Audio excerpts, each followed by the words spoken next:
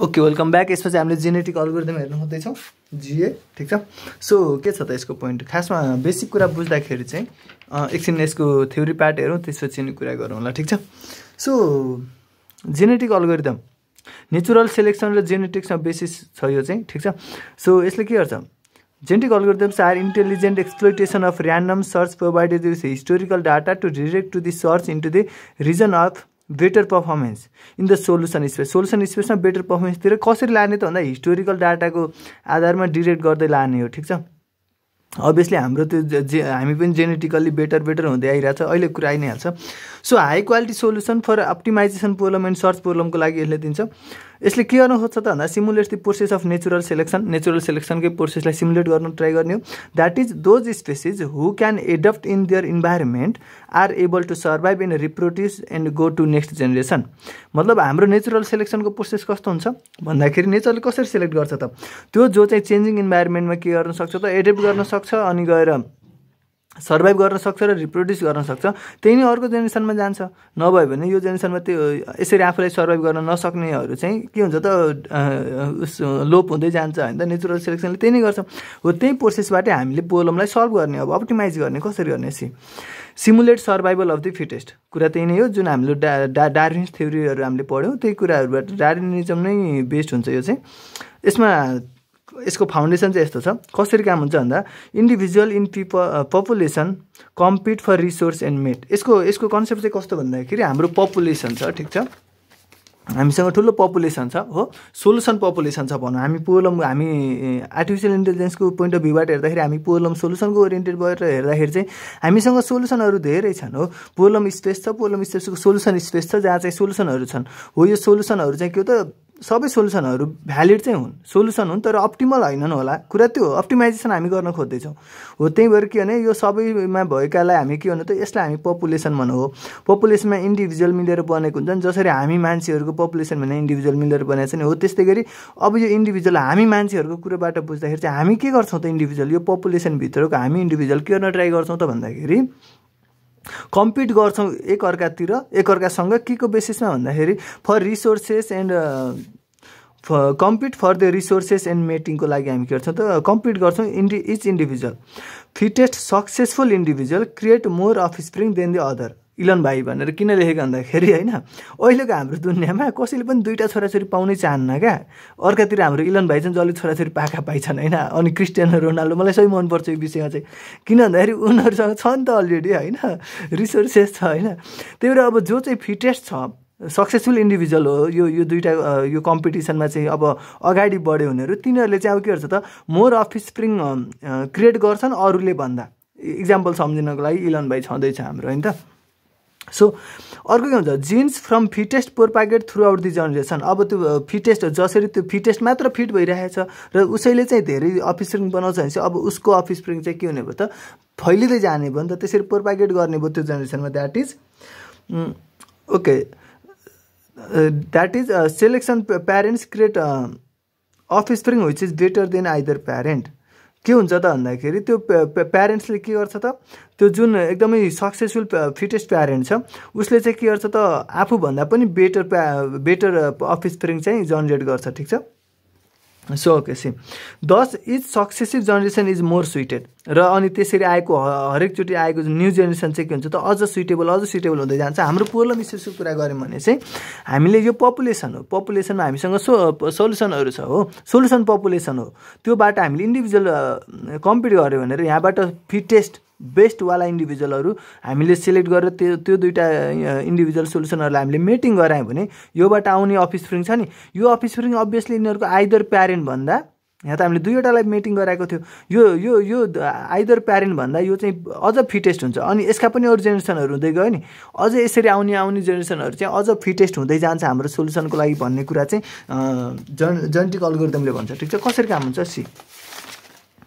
So यसमा केही कुराहरू बुझ्नुपर्ने हुन्छ। के कुराहरू बुझ्नुपर्ने हुन्छ भन्दाखेरि सुरुमा पपुलेसन छ यो पपुलेसन हो। अघि मैले भनेको जस्तो यो बाहिरको बााउन्ड्री चाहिँ पपुलेसन हो। यो बाहिरको बााउन्ड्री जसभित्र चाहिँ क्रोमोजोमहरू हुन्छन्। ठिक छ?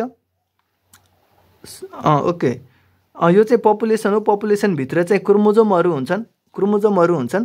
त्यो क्रोमोजोमभित्र पनि एउटा जो भ्यालु छ त्यसलाई हामीले जिन भन्छौँ ठिक छ? जसलाई हामीले जिन भन्छौँ त्यो अब मेटिङको लागि कुरा गर्न खोज्या ठिक छ? सो अब के हुन्छ त? यसमा फिटनेस स्कोर भन्ने हुन्छ। Fitness score is given to each individual. Each इन्डिभिजुअललाई दिन्छ। यसले के देखाउँछ त भन्दा shows ability of an individual to compete. Fitness स्कोरले के देखाउँछ त भन्दाखेरि उसको एबिलिटी कति छ त कम्पिट गर्न सक्ने भन्ने कुरा चाहिँ देखाउँछ। ठिक छ?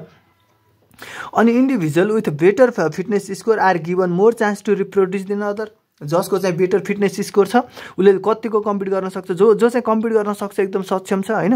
हो उसले चाहिँ धेरै रिप्रोड्युस गर्न पाउने भयो। अझै पनि इक्जाम्पल मलाई इलेभेन भयो भाइ आइरहेको छ है।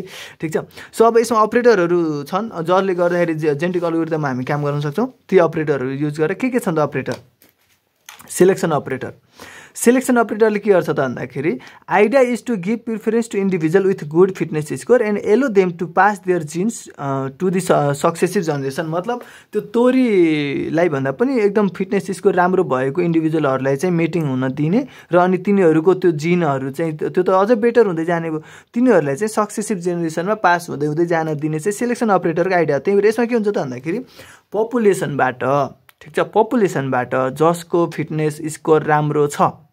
हो त्यो त्यो दुईवटा इन्डिभिजुअललाई भनौँ अहिलेलाई हामीले सिम्पल बुझ्नको लागि दुईवटा इन्डिभिजुअललाई अब सेलेक्ट गरियो।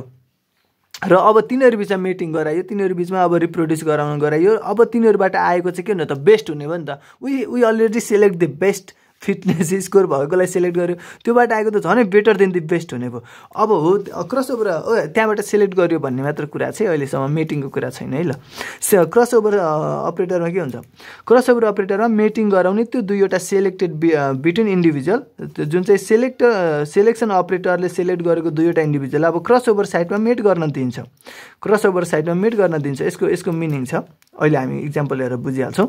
दिन्छ र genes at these crossover sides are exchange creating completely new individual offspring कसरी हुन्छ भन्दाखेरि लेट्स सी हामीसँग के छ अरे भन्दा प्यारेन्ट वान छ देखिया छ नि होइन? ओके प्यारेन्ट वान छ जसमा चाहिँ एबिसिडिएफजिएच यो जिनहरू छन् यो क्रोमोजोमहरूमा जिनहरू छन् प्यारेन्ट टू छ जसमा छ।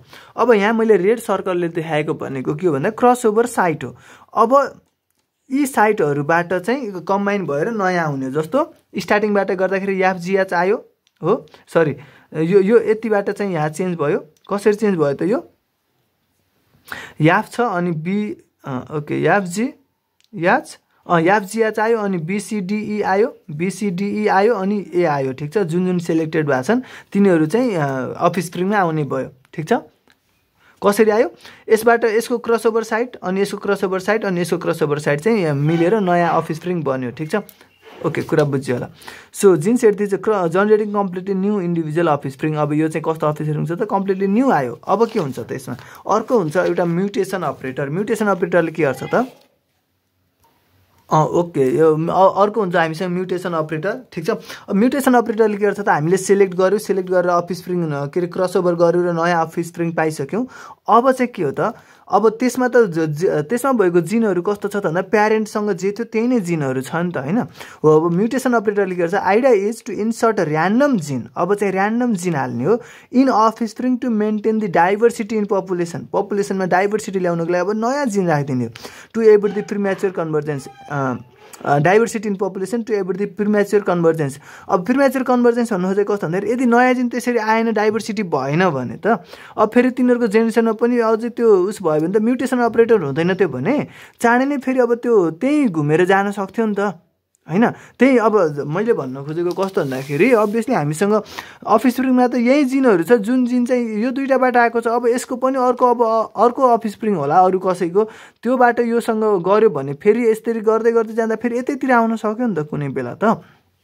किनकि जिनहरू त सेमै छ नि त भाइ। हो त्यही भएर म्युटेसन अपरेटरले के गर्छ त। ठिक छ पिर नगर भाइ म तँलाई नयाँ जिन हालिदिन्छु भनेर उसले ऱ्यान्डम जिन जिन इन्सर्ट गरिदिन्छ। To maintain the diversity in the population कसरी गरिदियो भन्दाखेरि यो चाहिँ के त बिफोर म्युटेसन थियो र यो चाहिँ के त आफ्टर म्युटेसन चाहिँ अब यो हुने भयो ठिक छ?